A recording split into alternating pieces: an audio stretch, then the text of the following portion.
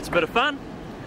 Joining surfcaster Greg Smeal and his team for a surfcasting show quite obviously. Now a number of you have been asking for a surfcasting show so here it is off the coast of Whakatane and uh, Greg has caught kingfish recently, snapper and kahawai and we're hopeful that we'll have the same sort of success today. So we'll just sit back here and wait for the man to do his thing. He, he promised the fish. Said they always catch them. So wait and see. Old pilchard, eh? A very popular little item for everybody. Indeed, yes. What are you doing? What, what's different Okay. about this? The different way we do the baits here, Graeme, it's quite simple. We've got a fish. This bait's too big in one piece for Very us. perceptive lad, yes. So what we've got to do is we've got to make ourselves an imitation fish, but make it smaller. So we simply put the hook through the top, cut it on an angle, right in through the bottom, out through the bait, and back like that. Yeah. So we have our little swimming fish.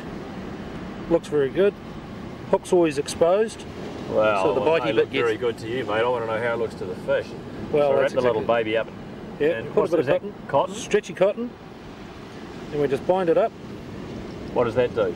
That just holds the bait in place. We um, find that pilchards are very soft baits, of course, and they uh, tend to fall off pretty easily. So you can see these still being soft. No problem, just wind it up. Is there a rule of thumb? Just, just as Any- as much as you like, as much as you like. little rascal. And there's a little morsel for catching a fish. Okay, good one. I like your table too, mate. By the way. Yes, I um, had a friend. Uh, had a friend in the Hawke's Bay uh, design one for 90 Mile Beach, and I thought I'd uh, expand on it. So I uh, bought one of these tops second hand. It had scratches on it. It was second hand and half the price. Just got a bit of downpipe from the, the plumbing shop, and here we go. I got sick of just bending down to the ground and getting sand and everything. So I decided that it was easier to work at Yeah. sort of about waist height. They're very, very easy to make. Cost you about 65 $70 to make it, but it saves you a lot of hassles.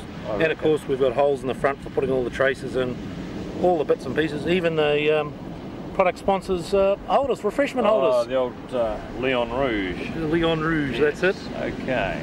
Alrighty, so we better do some fishing, eh? And you're also the New Zealand casting champion, I believe.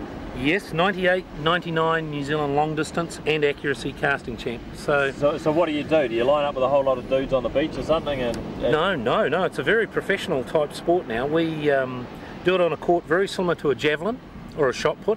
Uh, it's a triangular court, and uh, the longest in the country, the records are about 211 metres, which is a, way short of world records. But Yeah, um, what's the world record? the world record's 303 metres. So 303 metres in a cast. in a cast. Now that's just sinker. All right, a four ounce sinker, 303 metres. In New Zealand, good casters cast around 180 to 200 metres. Um, there's a few of us that can cast over 200 metres, and with a bait, around 160, 170 metres is a good cast. Because we've got a strong northerly today, we'll probably back, be back a bit around 140, 150 metres. Oh, you poor old thing. Then why don't you biff one of these baits out so we can see how far you cast? Not a problem. Already making excuses, I know. oh, today we'll be back about 140, 150 metres. It was only a little light puff. Yeah, it's probably another one of these stories that these fishermen make up. You know, today we're going to catch snapper and kingfish and carl. I'm going to cast 200 metres. Oh, yeah. So we've got to watch this.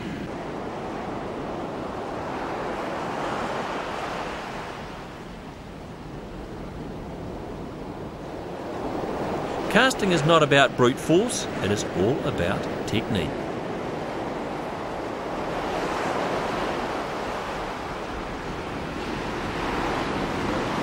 Well, it gets out there, there's no doubt about that.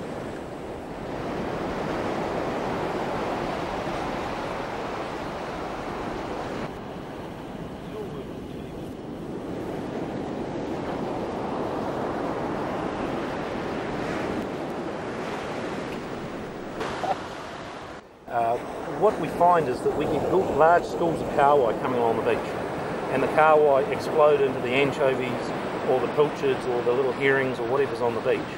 So they munch them all up. The snapper cruise in later and pick up all the tidbits from the bottom, and that's when we get that's when we get our snapper. So what we try to do is have our baits on the bottom. You'll notice our traces are very very short. We use traces anything from six to 15 centimetres. So any longer than that, you tend to pick up kahawai because your bait's bouncing around on the bottom.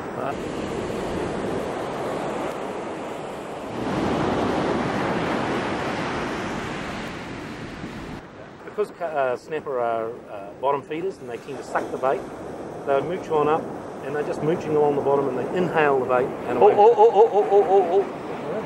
Oh, oh, oh, oh. Excuse me, I just got a little bit excited. Something. Yes, we're in. Good boy. I love the timing. Fantastic.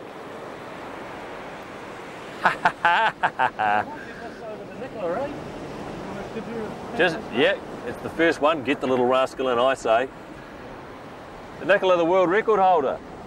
Hey? What did you get, Nicola? You talk to Graeme. What was your, what was your world record fish?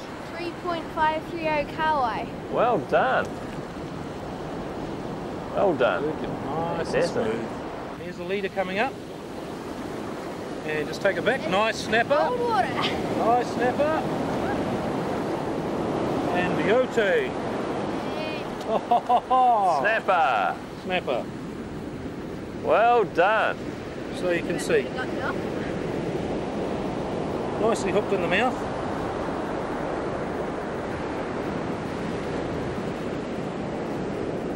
Just take that off. He's around oh, kilo 1.2. So because we're here for the show today, and because we promote uh, Let him go, let we'll him let him go. go. Eh? Quite another day. The old burglar surfcasters. Well done. There he goes. There he goes. Excellent value. That's what it's all about, kids and fishing.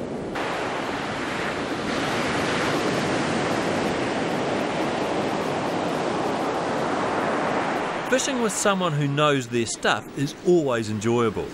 If you are like me, then you get a lot of pleasure from just being on the beach. Yeah, I wondered whether it would go It is a bonus if you get to sharpen your skills, and the day's extra bonus just on slack water was a feed of snapper earmarked for the Barbie. That was a good bite. Yes. Got that thump thump of a snap, right? He's got a thump thump. I'm very happy about that, laddie. I don't mind seeing a decent snapper for the Barbie. Bring them in with the waves. So what you do, you use the waves to good effect. Bring them in with the waves. That is a snapper, correct. And that's a better fish. That's what we're after. It's a keepy. That's a keeper. Yeah, you get three or four of those and we'd be very happy. That's what it's all about, isn't it? You guys must like sand with your fish or something. Is, is Well, that no, part of the attraction? Yes, the sooner they concrete all the beaches, the better I'll be. Yeah.